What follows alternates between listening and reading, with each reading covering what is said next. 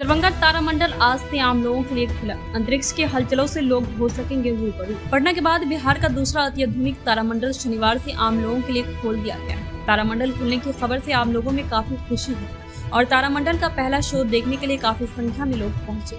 वहीं शो समाप्त होने के बाद लोगों ने तारामंडल की जमकर तारीफ़ करते हुए कहा कि इसमें ब्राह्मण के बारे में बहुत कुछ ऑडियो और वीडियो के माध्यम से समझाया गया। सभी बातें लोगों के लिए ज्ञानवर्धक है। जिससे लोगों को काफ़ी लाभ मिलेगा। वहीं तारामंडल खुलने के साथ ही तारामंडल की सैर करने आए बच्चों में काफ़ी उत्साह देखने को मिला।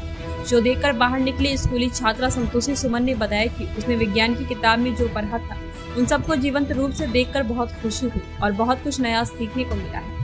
वहीं संतोषी ने कहा कि मैं अपने मित्रों से भी कहूँगी कि वह अवश्य तारामंडल आकर इस शो को देखें। उन्हें यह शो देख काफ़ी लाभ मिलेगा। वहीं तारामंडल देखने आए सुभाष शर्मा ने बताया कि खासकर उन विद्यार्थियों के लिए काफ़ी महत्वपूर्ण है, जो ग्रह और नक्षत्रों के साथ साथ तारों की दुनिया के बारे में रुचि रखते हैं और तारामंडल के बारे में जानना चाहते हैं। उन्होंने बताया कि इस तारामंडल की सबसे खास बात है कि यहाँ थ्री इफ़ेक्ट में तारामंडल को देखने का अवसर मिलता है। थ्री इफ़ेक्ट में ऐसा लगता है कि मानो तारामंडल हमारे आँखों के ठीक पास है। यह तारामंडल यहाँ के लोगों के लिए गर्व की बात है। इसके साथ ही यहाँ के लोगों के लिए रोज़गार का सृजन होगा।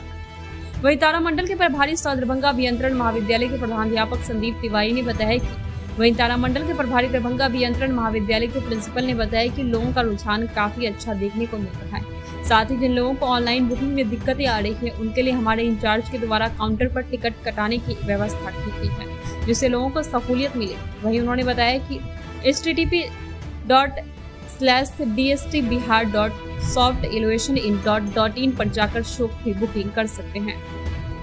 वही उन्होंने बताया कि तारामंडल में एक साथ 150 लोगों को बैठने की व्यवस्था है तथा चार में इसका संचालन किया जा रहा है। प्रथम शो ग्यारह बजे टू शो होगा तथा दूसरा थ्री शो बारह बजकर पंद्रह बजे शुरू होगा। वहीं तीसरा टू शो दो बजकर पंद्रह बजे शुरू होगा तथा चौथा थ्री शो तीन बजकर पंद्रह बजे शुरू होगा। वहीं उन्होंने कहा कि टिकट की दर टू शो के लिए पचास और थ्री शो के लिए सत्तर रूपए रखा गया है। वही छह वर्ष तक के बच्चों को कोई शुल्क नहीं लगेगा। परिसर के अंदर पार्किंग की व्यवस्था है, जिसका शुल्क अलग से लगेगा।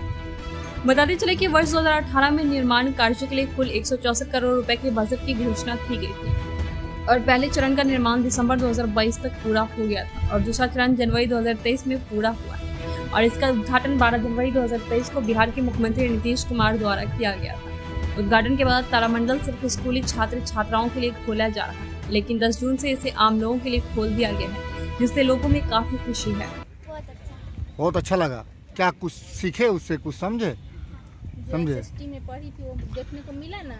आप जो क्लास में जो पढ़ते हैं स्कूल में उसमें सब्जेक्ट में भी दिखाया जाता है सौर मंडल तारा मंडल के बारे में। क्या साइंस में पढ़े थे। कैसा लगा आपको? सिखाएँगे पहला बात कि मतलब आप तारामंडल का पूछे कि दरभंगा बना है तो पटना से बड़ा बना है थोड़ा भव्य बना है तो इसीलिए थोड़ा मिथिलांचल में एक नया शुरुआत हुआ था डेवलप कर रहा है तो तारामंडल देखने के लिए आए। फिर टिकट का हमको पता नहीं था ऑनलाइन होता है मतलब अगर ऐसा पता होता तो हम ऑनलाइन ही कर लेते पर यहाँ है तो ऑनलाइन भी होता है ऑफलाइन भी होता है तो मतलब ऑफलाइन हम टिकट कटवाए हैं। टू डी का यानी टू डायमेंशन का हमको पचास रुपया पड़ा और थ्री डी यानी थ्री डायमेंशन का जो कि लगे कि सामने हो रहा है तो उसका हमको सत्तर रुपया मतलब कॉस्ट आ गया उसका। बस यही है। हाँ। अच्छा है मतलब अपने मिथिलांचल में इतना डेवलप कर रहा है जैसे एयरपोर्ट ओपन हुआ तारामंडल ओपन फिर एम्स ओपन हो रहा है अपने सोहन में तो अच्छा लगा। थोड़ा डेवलप कर रहा है ना अपना मिथिलांचल तो अच्छा लगता है। क्या लगा कैसा लगा आपको? कितना मन अच्छा लगा। पटना के बाद बिहार में दूसरा सबसे बड़ा तारामंडल दरभंगा हाँ, हाँ, बनाया गया मिथिला अच्छा वहाँ से अच्छा लगा यहाँ। वहाँ देखे थे? हाँ वहाँ भी देखे थे। और यहाँ देखे हैं। क्या लगा क्या महसूस कैसा कर रहे हैं आप? अच्छा महसूस कर रहे हैं। न्यूज़ के प्रायोजक है Mem Sahab ladies wear address city centre near Lee showroom Subhash Chowk Darbhanga.